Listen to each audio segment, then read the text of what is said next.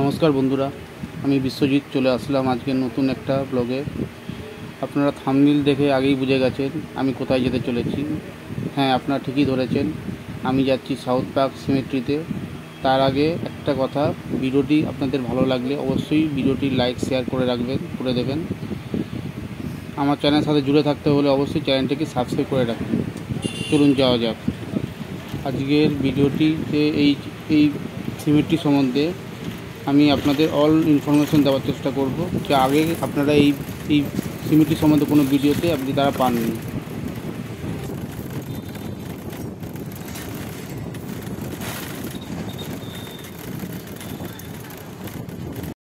হ্যাঁ নমস্কার বন্ধুরা। এই মাত্র পার্ক স্ট্রিট নাম না পার্ক স্ট্রিট থেকে এবার হেঁটে যাচ্ছি। আমার গিয়ে লোকেশনটা দেখাবো। চলুন, যাওয়া যাক।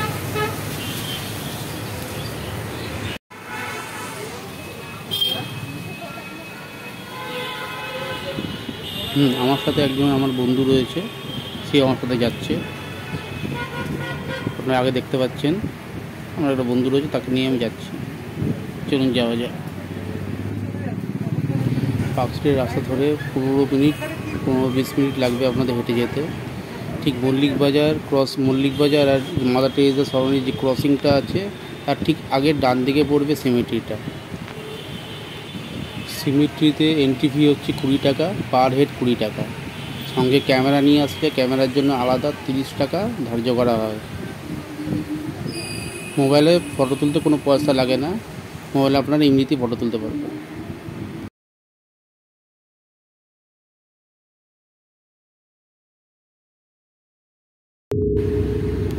সাউথ পার্ক স্ট্রিট সিমেট্রি হলো কলকাতার একটি খ্রিস্টান খবরখানা। এটি মাদার টেরিজা সরণিতে অবস্থিত। মাদার টেরিজা সরণি আদি নাম ছিল পার্ক স্ট্রিট। সেই নাম অনুসারে এই কবরখানাটির নামকরণ করা হয়েছে। উল্লেখ্য আছে, এই কবরখানা অবস্থানের জন্য পার্ক স্ট্রিটের আদি নাম ছিল বুড়িয়াল গ্রাউন্ড রোড। এই সিমেট্রির ইতিহাস সম্বন্ধে জানা যায়, পার্ক স্ট্রিট সিমেট্রি হলো বিশ্বের প্রাচীনতম নন চার্চ সিমেট্রিগুলির মধ্যে অংশ, একটি অন্যতম। ঊনবিংশ শতাব্দীতে সম্ভবত এটি ছিল ইউরোপ ও মার্কিন যুক্তরাষ্ট্রের বাইরে বিশ্বের বৃহত্তম খ্রিস্টান কবরখানা। সাউথ পার্ক স্ট্রিট সেমেট্রি চালু হয়েছিল সতেরোশো সাতষট্টি সালে। এই কবরখানার জমি খণ্ডগুলি আগে ছিল জলাভূমি এলাকা। এখন এখন যেখানে সেমেট্রিটা অবস্থিত, অবস্থান করছে, সেই জায়গাটা আগে জলাভূমি ছিল। আঠেরোশো তিরিশ সাল পর্যন্ত এটি ব্যবহার করা হয়েছে। এখন আর্কিওলজিক্যাল সার্ভে অফ ইন্ডিয়া এটি রক্ষণাবেক্ষণ করেন। শহরের প্রাণকেন্দ্রে অবস্থিত। পুরনো কবরখানাটির উপর চাপ কমাতে এই কবরখানাটি চালু করা হয়েছিল। কবরখানার সামনে রাস্তাটি নাম রাখা হয়েছিল বরিয়াল গ্রাউন্ড রোড। পরে নাম পাল্টিয়ে রাখা হয় পার্ক স্ট্রিট। সতেরোশো পঁচাশি খ্রিস্টাব্দে সালে কবরখানাটি পার্ক স্ট্রিটের অংশ, পার্ক স্ট্রিটের উত্তর অংশ পর্যন্ত প্রসারিত হয়েছিল। আঠেরোশো চল্লিশ সালের লোয়ার সার্কুলার রোড, অধুনা জগদীশচন্দ্র বসু রোড পূর্ব অংশে একটি বড় কবরখানা চালু হয়। সতেরোশো নব্বই সাল থেকে ইউরোপীয় ইউরোপীয় এই কবরখানাতে বন্ধ, ব্যবহার করতো না মানে ব্যবহার করা বন্ধ করে দিয়েছিল। তাই কবরখানার প্রধান ফটকের পাশে শ্বেত পাথরের ফলকে লেখা ছিল, সাউথ পার্ক স্ট্রিট ওপেন সতেরোশো সাতষট্টি, ক্লোজ সতেরোশো নব্বই। এই যে সিমেট্রি রয়েছে, এই সিমেট্রিতে বিখ্যাত একটি চলচ্চিত্র শুটিং হয়েছিল গোরস্থানে, সাবধান।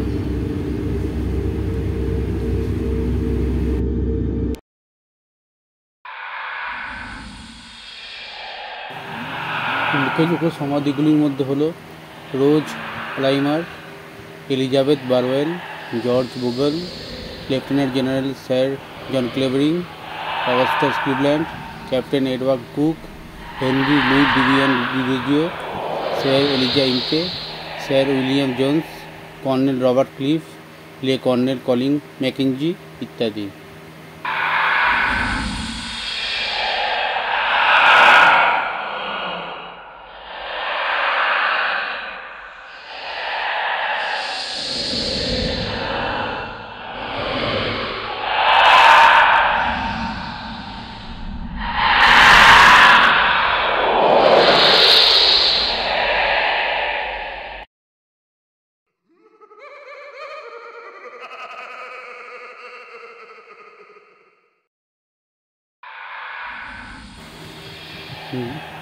বিখ্যাত ইংরেজি ঔপন্যাসিক চার্লস ডিকেন্সের ছেলে ওয়াল্টার ল্যান্ডের ডিকেন্স, তাকে প্রাথমিকভাবে ভবানীপুরে কবরস্থানে সমাধিত করা হয়েছিল। পরে তার সমাধি পাথরটি উনিশশো সাতাশি খ্রিস্টাব্দে এখানে স্থানান্তরিত করা হয়। প্রায় সমস্ত সৌদি স্মৃতিসৌধগুলি স্থাপত্যগুলি চিত্তাকর্ষক ও ধ্রুপদী বিবরণ ও ভাস্কর্য সহকারে পরিপূর্ণ। মৃত ব্যক্তিদের এপিটাপে উল্কিত ও আকর্ষণীয় পেশাগুলির মধ্যে রয়েছে গবাদি পশু পালনকারী, জেলারক্ষক রূপকার স্কুল শিক্ষক প্রভৃতি।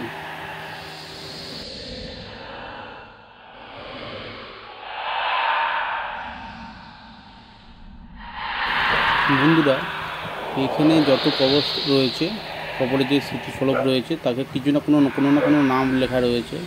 আপনারা দেখতে পাবেন ঠিক আছে? যেগুলো এখনও পর্যন্ত টিকে রয়েছে, তার কোনো না কোনো নাম লেখা রয়েছে। কিন্তু তিনশো তেষট্টি নম্বর যে কবরটা রয়েছে, এখানে দেখতে আসলে দেখতে পারবেন যে তিনশো তেষট্টি নম্বর যে কবরটা রয়েছে এর এপিটাপে কোনো কিছু নাম লেখা নেই। শুধু লেখা আছে, আ ভার্চুয়াস মাদার। হ্যাঁ ডেট আঠেরোশো পঁচিশ খ্রিস্টাব্দ পঁচিশ সাল। তো এখানে এই কবরটাতে তার কোনো নাম উল্লেখ করা নেই যে কাকে কবর দেওয়া হয়েছিল বা কার সমাধি রয়েছে এখানে। এটি এখন খুব মিস্টিরিয়াস কবর, একমাত্র তিনশো তেষট্টি নম্বর।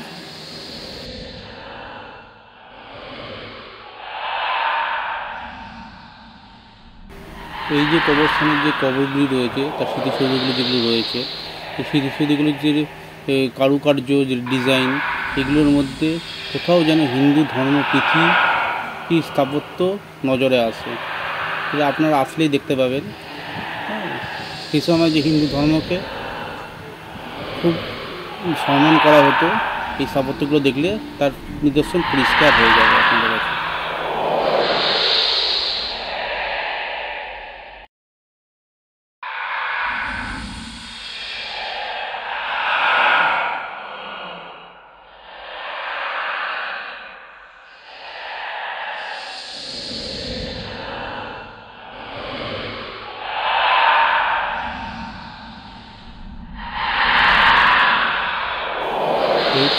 একটি বিতর্কিত মন্তব্য, বিতর্কিত বিতর্ক রয়েছে হ্যাঁ আট উনিশশো চুরাশি খ্রিস্টাব্দে চুরাশি সালে একটি সুপরিচিত ব্যবসায়ী এই কবরখানটি কবরখানাটা ভাঙার কাজ শুরু করেছিল।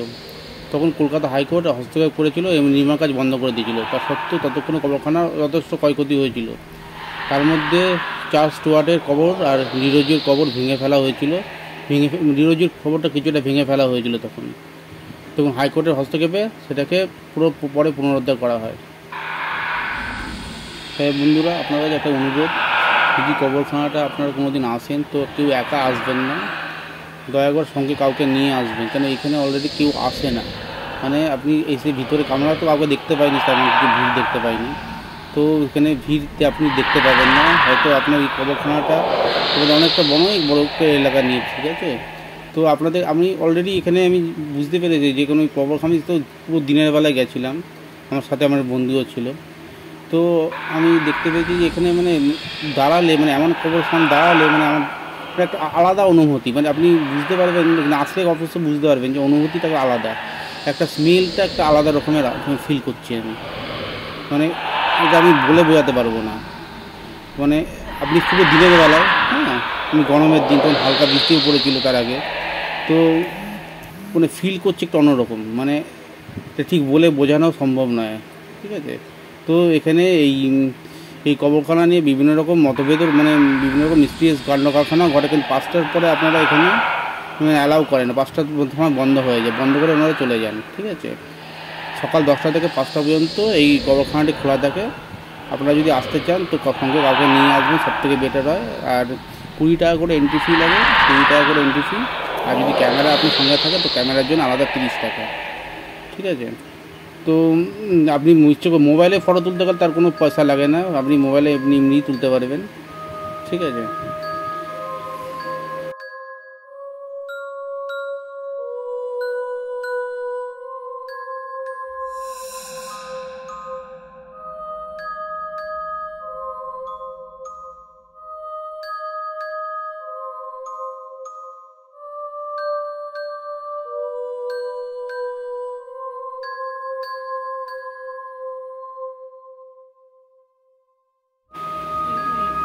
এই কবরখানাতে আসার সব থেকে সঠিক রাস্তা হচ্ছে আপনারা শিয়ালদা বা হাওড়া থেকে যেখান থেকে আসুন না কেন, আপনারা সেখান থেকে বাস ধরে আপনার পার্ক স্ট্রিট চলে আসবেন, পার্ক স্ট্রিট মেট্রোর সামনে নামবেন। পার্ক স্ট্রিটের যে রাস্তাটা ধরে আপনার দশ পনেরো মিনিট হেঁটে যাবেন, আপনাদের ডান দিকে মানে আপনাদের ওই মল্লিক বাজার আর আপনাদের যে পার্ক স্ট্রিটের যে ক্রসিংটা তার আগের ডান দিকেই আপনাদের এই কবরস্থানটা পড়বে।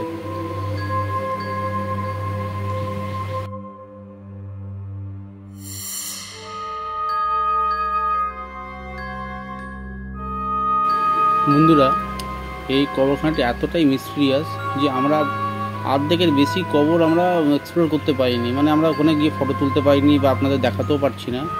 মানে এতটাই মিস্ট্রিয়াস ঠিক আছে? এই যে আমরা যতটা পেরেছি, ততটা আমরা দেখিয়েছি বা দেখানোর চেষ্টা করছি। হ্যাঁ তো যদি দেখাতে পারতাম যে আগে সেইগুলো কবরগুলো, তো তো আপনাদের ভিডিওটা আরও হয়তো বড় হয়ে যেত। তো সঙ্গে থাকুন যে আপনি দেখতে পাবেন যে অনেকগুলো কবর আছে এখনও ঠিক আছে? আপনাদের সেগুলো মিস্টেরিয়াস রয়েছে। দেখুন, এখান থেকে এখানে যে দেখা যাচ্ছে, দেখুন, আমরা তো ভিতরে ঢুকতেই পারছি না। ভিতরে মানে একটা আলাদা স্মেল মানে আপনি বুঝতে পারবেন না যে একটা আলাদা অনুভূতি ওখানে কোনো আপনি দাঁড়াতে পারবেন না। মানে এতটাই আমরা ফিল করতে পেরেছি। মানে আমাদের দিক দিয়ে আমি এতটাই ফিল করতে পেরেছি এগুলো।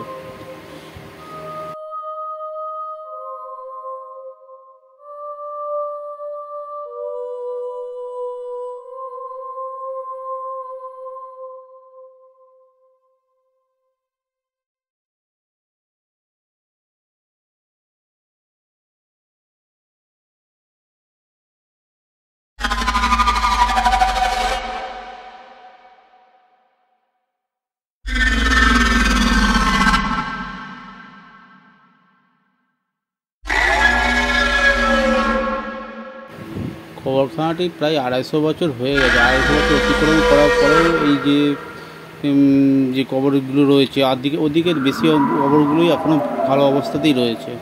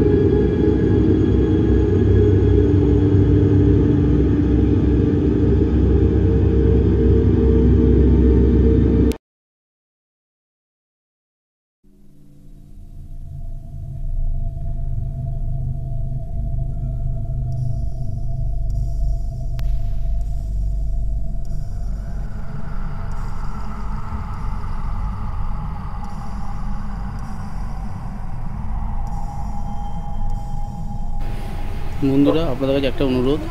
আমার ভিডিও যদি একটু ভালো লেগে থাকে, আপনারা একটু লাইক শেয়ার করে দেবেন এবং আমার চ্যানেলটিকে সাবস্ক্রাইব করে দেবেন অবশ্যই। দেখুন বন্ধুরা সাবস্ক্রাইব না করলে আমি নতুন ভিডিও কী করে দেবো? বলুন, আমাদের দেওয়ার সে মনটাই থাকবে না। পুরো দেখুন সাবস্ক্রাইব করে দিন, ভালো লাগবে।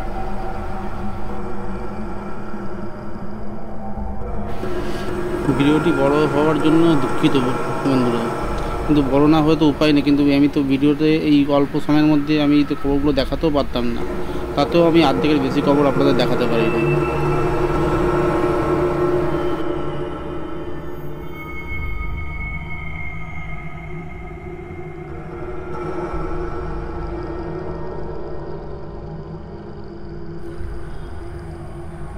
আমি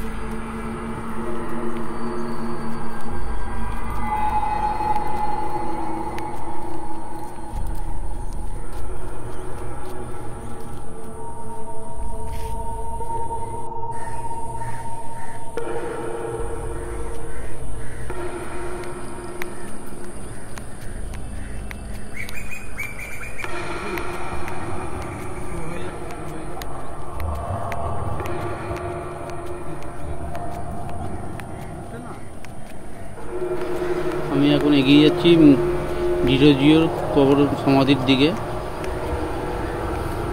দেখুন ডিরোজিওর সমাধি।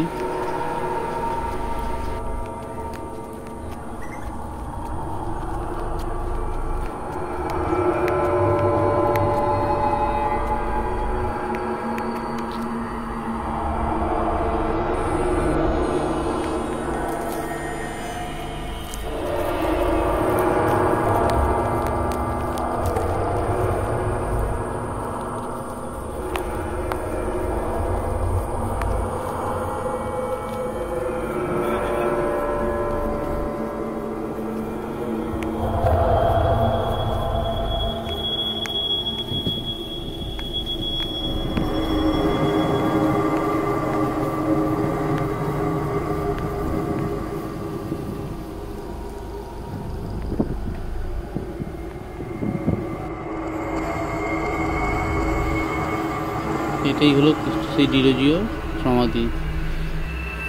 এক সময় এই সমাধিটার অর্ধেকের বেশি অংশই ভাঙা হয়ে গেছিল। পরবর্তীকালে এটাকে পুরো পুনরুদ্ধার করা হয়েছে।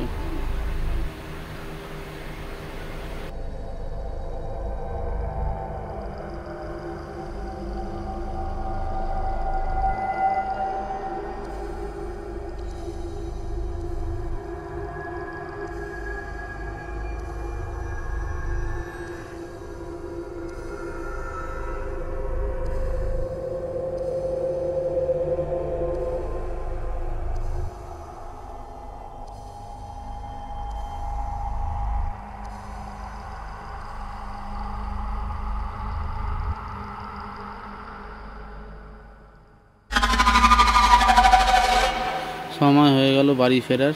এখন প্রচণ্ড বৃষ্টি হচ্ছে। তো আমরা ব্যাক করে গেছি মেন গেটে আমরা এই বেরিয়ে যাব। ভিডিওটি আমি আরেকবারও বলে রাখব। ভিডিও যদি ভালো লাগে অবশ্যই লাইক শেয়ার করে দেবেন এবং চ্যানেলটিকে সাবস্ক্রাইব করে দেবেন।